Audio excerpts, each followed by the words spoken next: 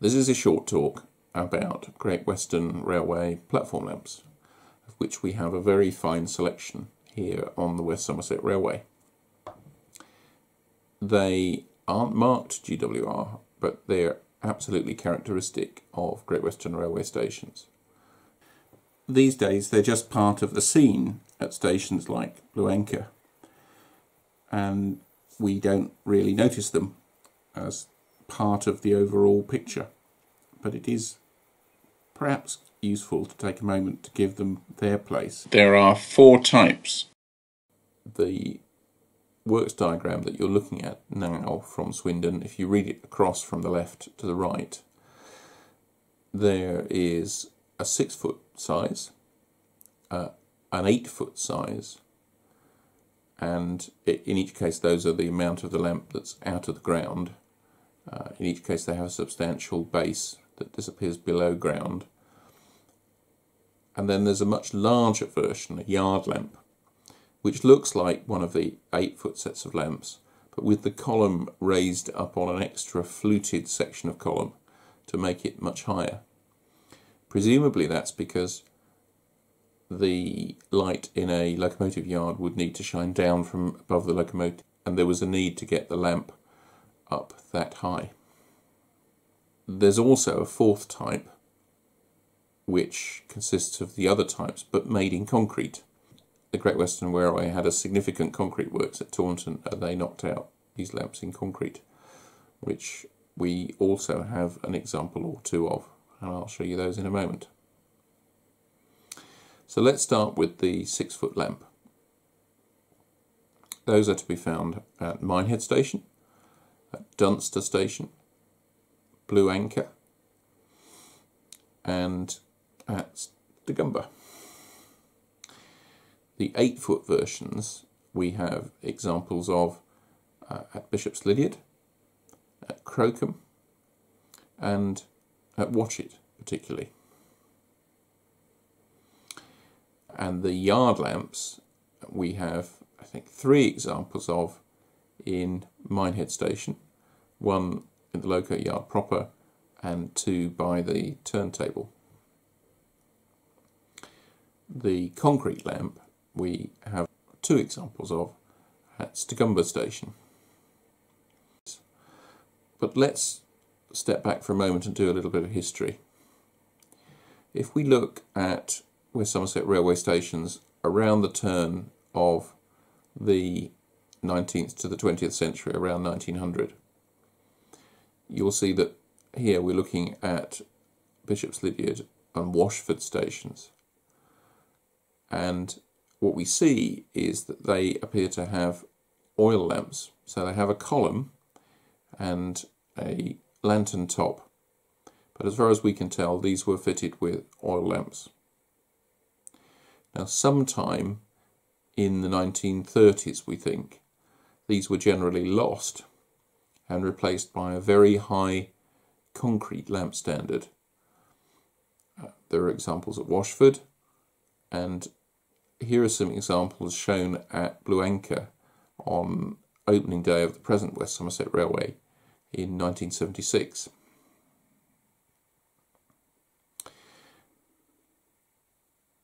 they fairly quickly after the railway reopened had begun to decay and became dangerous and bits of the upper bracket certainly at Blue Anchor, fell onto the station and so by the early 1980s it was decided that these needed to be removed.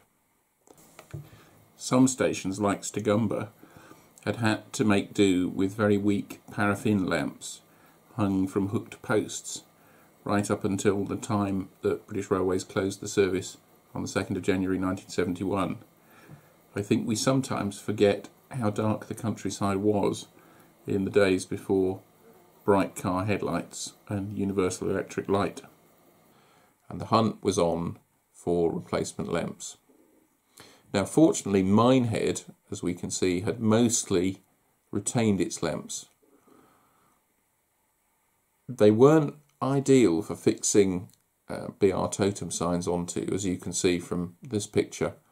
That's not really the, the most attractive way to fix a totem sign onto a lamp. Minehead has had one or two extras, but Minehead was mostly supplied. The lamps at Blue Anchor came from uh, a variety of sources, but we had a big lump that came from a museum in Bristol that was disposing of some stock that it had kept. They were very difficult to install at Blue Anchor. The thing to remember at Blue Anchor is that the, the station is built effectively in a V-shaped cutting in the rock with ballast dropped in the bottom of the V and the track set on that and then platforms either side.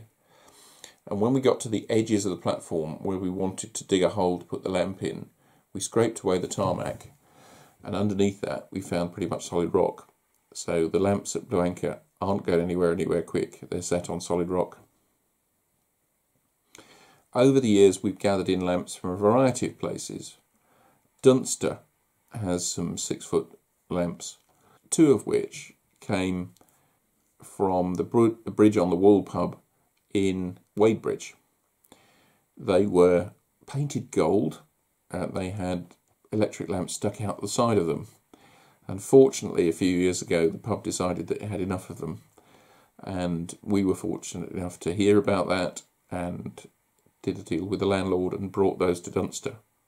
We are seen here having them shot blasted at Surdick Foundries in Chard because removing all that old paint is a real pain.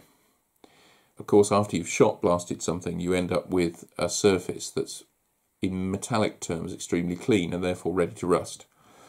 And so we, in the back of the van, as soon as they came out of the shop blasting, we painted them with peroxide and then delivered them to Dunster, and they form a pair of the lamps at Dunster. So they're good to have. Further down the line, the lamps have come from various places. Some of the other lamps that we have at Blue Anchor came from Starcross in Devon and were swapped around the railway so that we have consistent sets of lamps at different stations. One that needs to be recorded particularly is the lamp we have at Stogumber Station, which after a period of negotiation with St Ives Town Council we were allowed to recover from a footpath above St Ives Station and that is seen here being dug out of the ground and then taken to our van to bring back to Somerset. This was a six foot lamp that rather strangely had had a length of pipe force fitted onto the top of it to make it into something like an eight foot lamp. But anyway, that is here that is back at Stogumber. It is possible to have new lamps cast and we were pleased to find a matching lamp from a group of castings that the Gloucester and Warwickshire Railway were having cast for Broadway Station. And so the matching lamp here on the other side of the crossing at Stogumber is in fact a modern casting, although you'd never know. The pattern on the lamps, let's look at them a bit more closely, is known as acanthus leaf.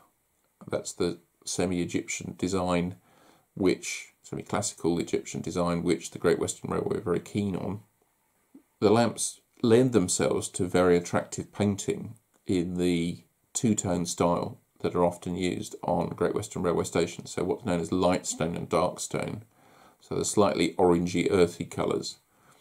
And it's possible to paint them simply or to pick out those, the fluting and the different designs on them attractively in different colours.